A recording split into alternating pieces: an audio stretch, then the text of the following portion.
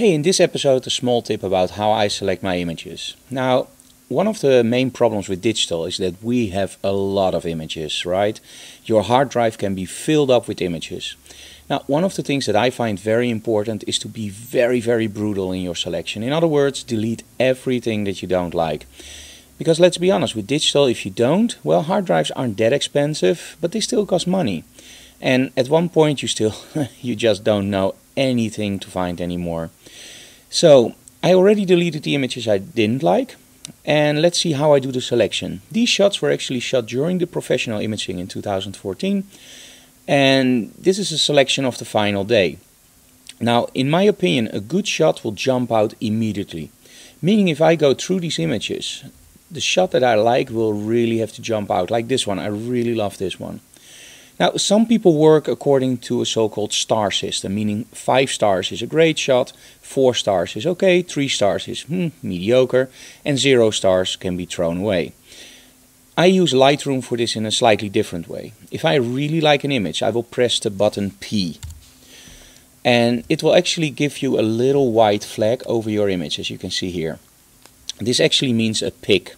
Now, if you don't like an image, you press the X key.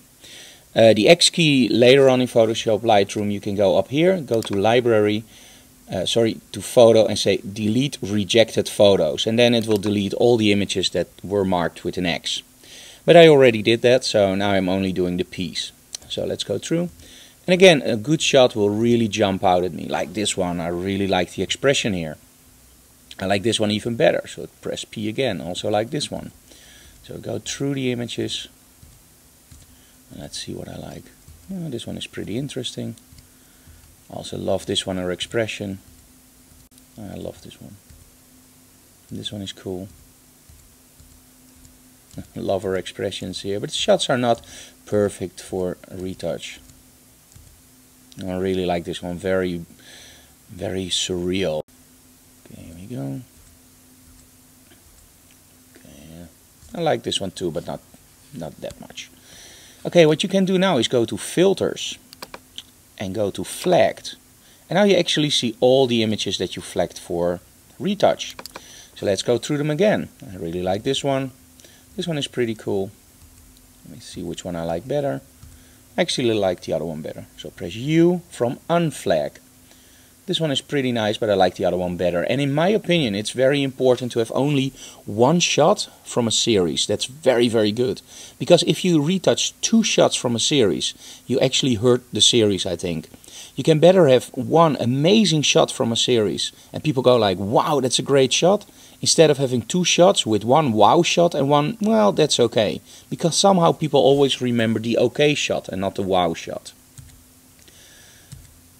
I think this is pretty nice. Let me see which one I like more. I actually like this one more. It will be a little bit more retouch work, especially on the top. So we'll keep them both open just to be sure. So I now made my selection. And this way you can work very, very fast in Lightroom.